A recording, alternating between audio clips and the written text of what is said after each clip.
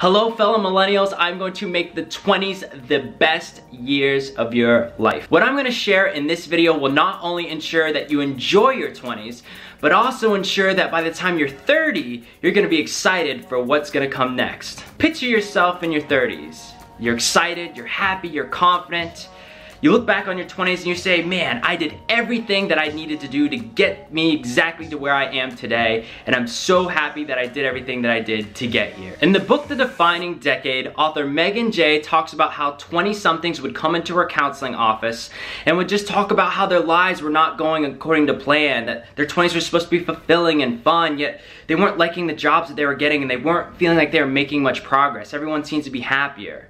Meg claims that the 30s are not actually the new 20s. And as a matter of fact, here in our 20s, these are the most important years of our lives that determine who we become over time. And it is from Meg's book that this first tip actually comes.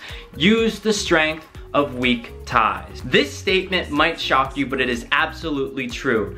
It is the people with whom we are the least connected who offer us the most opportunities. While it's our close friends and family that we often associate the most with, it's the people that we don't associate with very much that actually offer the greatest potential to significantly influence our lives. Think of it this way. If you want to move out of your current position or you want to move into a new field, you're going to have to likely reach out to somebody you don't know very well, someone outside your immediate circle of friends. It could be a past colleague, a coworker, a friend from school. I mean, especially after just leaving the academic world, you should have an entire list of people who you've associated with. One quick LinkedIn search, one quick Facebook search is all it takes to find countless friends and colleagues that are in positions all across the United States, all across the world, who might be able to give you the extra in that you need to get to where you wanna go. One simple message, one simple phone call could be all that it takes to get you to work at the position that you've always wanted or at the right company that you've always wanted. And it's surprising what happens when we reach out to somebody who we haven't talked to in a while. We catch up, ask for an interview, ask for a referral. You'll be surprised just how willing to help your friends and colleagues from many years back are to help you out. So if you're stuck in a position or in a rut and you wanna get into a new field or a new position at a new company, who among your weak ties is at where you wanna be? And be sure to reach out. I can promise you they'll be glad you did. The second big tip is to prioritize meta skills over technical skills. Now what are meta skills? You probably never heard of those before and that's because they're not taught in the academic world. You see meta skills are skills that essentially help improve all the other areas of your life. They actually improve the technical skills that you acquire later on. These are skills like confidence, optimism, focus, negotiation, leadership. These skills help influence all the other areas of your life, and even things like meditation are a meta skill because it teaches you how to be more disciplined, more focused, and reduce stress overall. Think for a moment if the first book that you read taught you how to read other books twice as fast. That means you could either read twice the amount of books or read the same amount in half the time. Believe it or not, people are actually learning how to read three times faster.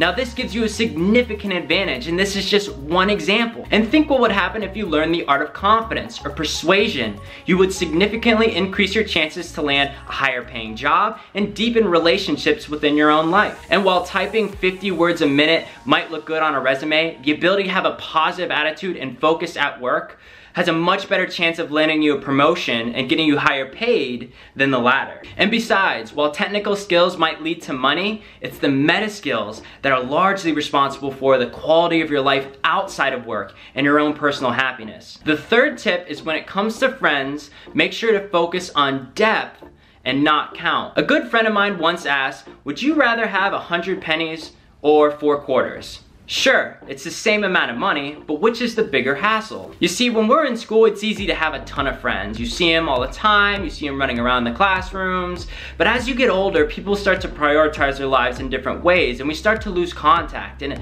becomes much, much harder to have the time to keep all those relationships going, to have the same level of depth with all of those friends. So you, you end up really spreading yourself thin across all of your friends, and you end up not having real, deep, meaningful relationships with anyone. So take a moment right now to write down the five people who you want to be friends with for the rest of your life. The people who you really want to deepen those relationships with. These are the people who you'll depend upon in your time of need, who always have your back.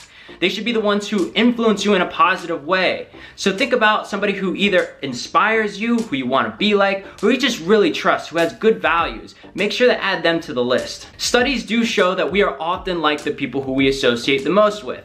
So make sure you choose your friend group carefully because you'll be surprised after five years just how similar you and your friends actually are. My fourth big tip is to get rejected more, not less. Jia Jiang, the author of Rejection Proof, writes about a story when he was working at a marketing position and it wasn't giving him fulfillment, he wasn't enjoying his work. He noted that it was his fear of rejection from the people that he cared about the most that kept him from doing the things that he actually wanted to do with his life. From there, he set out on a journey to get rejected for a hundred days, that he would go find people and ask absurd questions that would guarantee him a no. So he would find strangers and ask for things like, may I borrow $100? Or he would go to Costco and say, can I speak over the intercom? Of course, he received no's, but that was his goal. What happened at the end of those 100 days was absolutely astounding. You see, not only did he get a massive following on his blog post, but he also started his own million dollar company, wrote the book,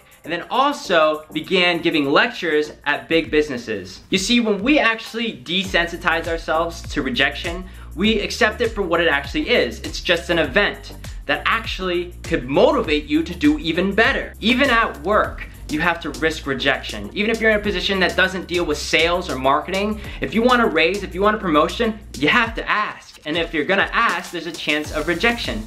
Even though studies show that 85% of the time when you ask for a raise, you at least get something. Rejection will be present throughout your entire life. You could either have some of it or you can have a lot of it. And what you'll find is the vast majority of successful people have a ton of rejection because that's what helped them get to where they are. So learning to accept rejection for what it is, learning how to deal with it, and turn it into a positive is one of the best decisions that you could ever make for your life. And the final tip that I have for you is to invest in yourself. If you were to ask a friend, what's the best investment in today's economy? They would say something like stocks or bonds or real estate or Tesla or gold, silver. They would name something like that. But the reality is, the best investment you could make is in yourself because you are the money making machine. If Warren Buffett hadn't spent so much time understanding investment strategy, he probably would not know how to make very much money in the stock market. It's the knowledge that actually got him to where he is today. Investing in yourself is the best possible investment to make that's pretty much risk-free is because you control your destiny. You can control your actions and what you do with that knowledge. Your decision to learn real estate, to learn investing strategies, or to learn how to do a startup is actually what will net you the most amount of money in the long run. But you can also get other currencies out of investing in yourself, like more energy, more happiness, more confidence, confidence. These are the things that come through experience and investing in online courses and practicing and gathering new information that you've never heard of before. I mean, if you invest $15 in a meditation course that reduces the amount of stress that you have in your life by 50%, that's a pretty worthwhile investment. And while you can't control the return on a stock, you can control the return on yourself. By watching this video, you have in fact invested in yourself. And I just wanna encourage you to keep up with your learning and development. And if you learned something from this video, either be sure to like it or share it with somebody. That way they can get the benefit from it as well. My promise to you is to continue providing content that will help you get the most out of life while still enjoying it too. If you want to be a part of the journey, be sure to subscribe to the channel as we shoot to get over 5,000 subscribers. So your subscription is welcomed and I will see you on the next video.